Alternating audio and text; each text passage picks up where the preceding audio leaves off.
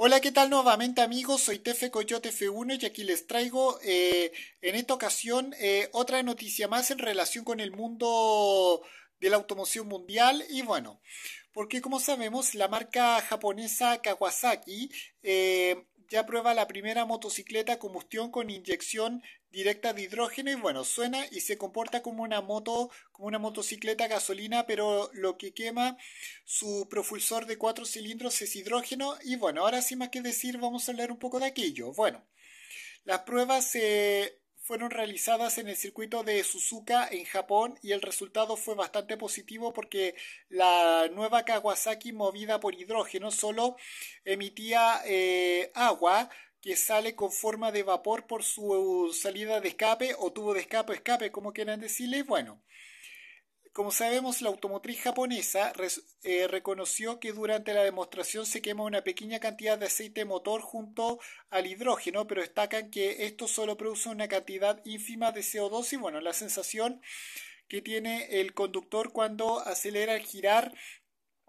el manillar es exactamente igual que si estuviera sobre una motocicleta gasolina, porque los procesos de combustión son similares en ambos casos, con gasolina o con hidrógeno y bueno.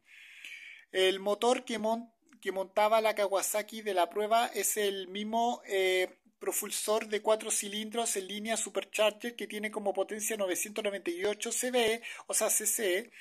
eh, que tiene, quiere decir que tiene 988 centímetros cúbicos, eso quiere decir de la modelo Ninja H2, con algunas modificaciones para permitir la inyección directa de hidrógeno en los cilindros. Y bueno, el chasis eh, también se diseñó para alojar los depósitos de hidrógeno, que también pueden alojarse en el depósito tradicional de combustible. Y bueno, esta moto con motor de combustión de hidrógeno fue diseñada eh, y construida como parte de una investigación que comenzó en marzo del año anterior, o sea, 2023. Y bueno, la viabilidad de esta moto depende de la disponibilidad de hidrógeno para su utilización, pero la firma automotriz japonesa tiene como objetivo hacer realidad una moto de hidrógeno a principios de la década del año de la década siguiente, o sea, la década 2030. Y bueno, Kawasaki Motors, o sea, Kawasaki Motors es eh, miembro de la eh,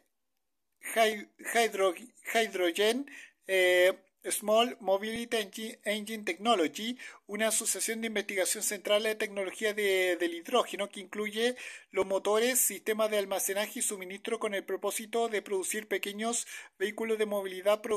eh, movidos por hidrógeno, incluidas las motos. Y bueno, con esto me despido. Adiós, que me fuera. Chao.